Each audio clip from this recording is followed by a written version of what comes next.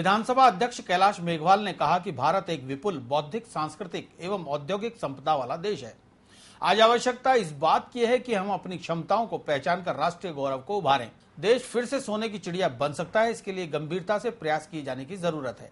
मेघवाल शनिवार को महर्षि दयानंद सरस्वती विश्वविद्यालय में उद्यमिता एवं लघु व्यवसाय प्रबंध केंद्र द्वारा आयोजित अंतर्राष्ट्रीय कॉन्फ्रेंस को संबोधित कर रहे थे। कॉन्फ्रेंस का विषय entrepreneurship, tourism environment and energy रखा गया। मेघवाल ने कहा कि भारत के युवाओं को अपने अतीत की गौरवशाली परंपरा से सीख लेकर मंथन करना चाहिए था कि हमने गुलामी के दिनों में क्या खोया है। यह राष्ट्रीय एजेंडा होना चाहिए था। अब इस दिशा में काम शुरू हुआ है। अंग्रेज़ों ने भारत को गुलाम बनाने के बाद भारत की भौतिक संपदा तो लूटी ही। हमारी बौद्धिक संपदा पर भी कब्जा करने के लिए शिक्षा नीति को बिगाड़ दिया। दो बातें मैं आपसे कहना चाहता एक है पर्यटन पर्यावरण की बात एक है व्यवसायिक पर्यटन और एक है पर्यटन। हमारे पुराने इतिहास को देख लो, चाहे पुराने में हो, चाहे पुराणों में हो, चाहे संस्कृतों में हो, हमारे यहाँ पर्यटन की ऐसी शानदार व्यवस्था की कि हिंदुस्तान में रहने वाले हर व्यक्ति को पर्यटन पर जाना पड़ेगा और उसको जोड़ दिया धर्म से। आदि शंकराचार्य ने मठ स्थापित किए एक कोने से लगा कर दूसरे कोने एक चारों मठ और यह अनिवार्य कर दिया कि पर्यावरण आपको यहाँ जाना है, दर्शन करना ठीक है? हमारे ऋषि मुनियों के जितने गुरुकुल आश्रम होते थे, वो जंगल में होते कहीं शहरों में आपने नहीं देखा, कहीं कस्बों में नहीं देखा।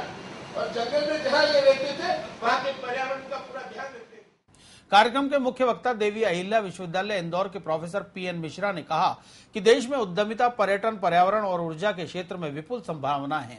आज पर्यावरण असंतुलन बढ़ता जा रहा है, पेट्रोलियम समाप्ति की ओर अग्रसर है। पर्यावरण असंतुलन आने के दिनों में गंभीर रूप धारण कर सकता है। इसे बचाने के लिए अभी से गंभीर प्रयास शुरू करने होंगे।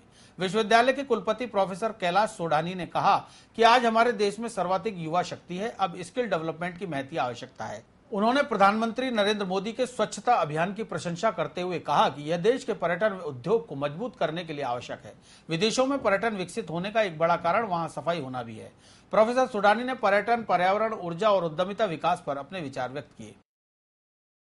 कॉन्फ्रेंस को संबोधित करते हुए लघु उद्यमिता संस्थान के निदेशक प्रोफेसर बीपी सारस्वत ने बताया कि मुख्यमंत्री वसुंधरा राजे के प्रयासों से विश्वविद्यालय में लघु उद्यमिता संस्थान की स्थापना हुई। आज यह संस्थान अजमेर के बेहतरीन संस्थानों में गिना जाता है। कॉन्फ्रेंस के संयोजक डॉक्टर आशीष भटनागर ने विभिन्न सत्रों की जानकारी दी। इससे पूर्व विधानसभा अध्यक्ष कैलाश मेघवाल का विश्वविद्यालय पहुँचने पर स्वागत किया गया। कॉन्फ्रेंस में पूर्व कुलपति प्रोफेसर के सी शर्मा सहित विश्वविद्यालय के शिक्षक और बाहर से आए संभागी भी मौजूद रहे। उद्यमिता, ऊर्जा, पर्यावरण और पर्यटन ये विषय आज सारे देश में बहस के विषय हो रहे हैं। और इन चारों विषयों का सामूहिक आगे बढ़ने से देश के विकास में बहुत अधिक मदद मिलेगी। और इसीलिए केंद्रीय सरकार से लगाकर राजस्थान सरकार तक इन विषयों की विविधता को ध्यान में रखते हुए अपने अपने प्रोग्राम बना रहे हैं।